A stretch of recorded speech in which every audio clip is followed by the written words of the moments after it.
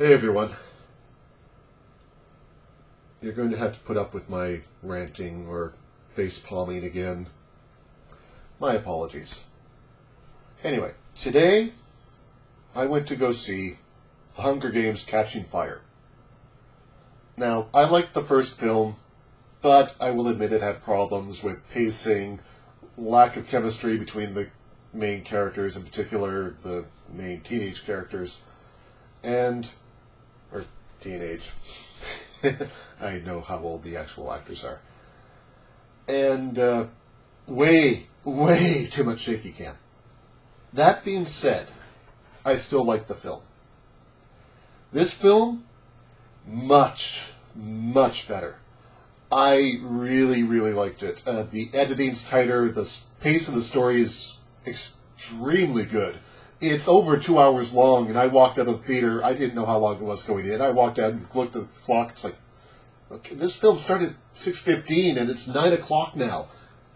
Wow, that did not feel like two and a half hours taking out, you know, the advertisements and prequels or the previews. I mean, uh, I was really surprised to see Philip Seymour Hoffman in uh, Plutarch's role. If you've read the book, you know who I mean.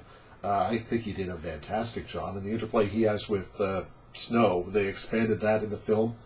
Uh, there are parts that cut out that I don't think the parts they cut out mattered much. Uh, at least as they've got the film set up. Uh, he and Don- Donald Sutherland interacting, I think, is great. It's a great addition to the to the film.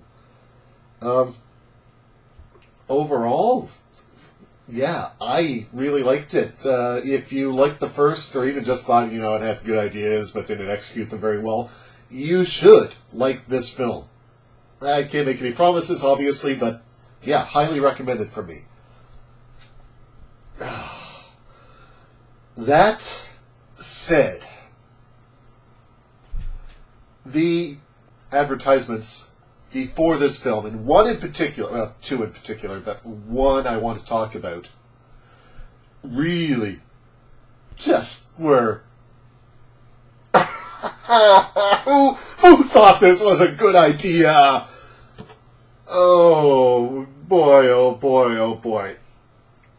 Anyone who is even superficially familiar with the Hunger Games trilogy should know that the citizens of the capital city of Panem are the most self indulgent, superficial people you will probably ever see on film or in any kind of literature. They are lead an almost entirely superficial existence. They are obsessed with fashion.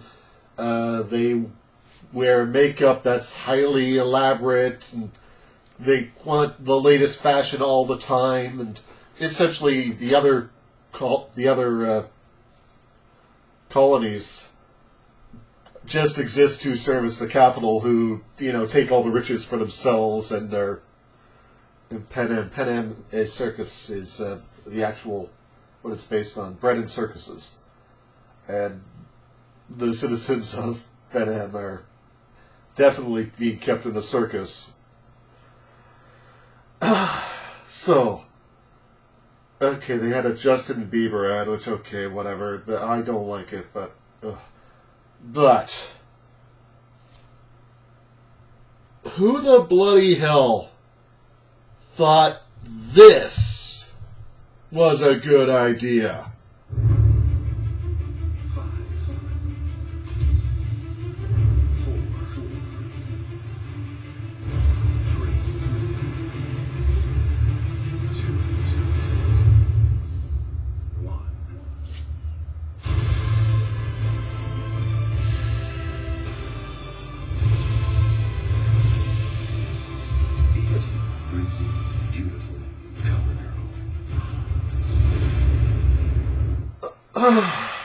For fuck's sake! I just noticed as I went to download the video to include in that clip. They've got ads based on the various different colonies. What the fuck are they thinking? Do I need to explain how badly that product promotion misses the entire fucking point. Oh, for fuck's sake. Ay, ay, ay. Thankfully, thankfully, there's no CoverGirl advertisement in the film itself. So I can forgive that. But bloody hell. Ugh.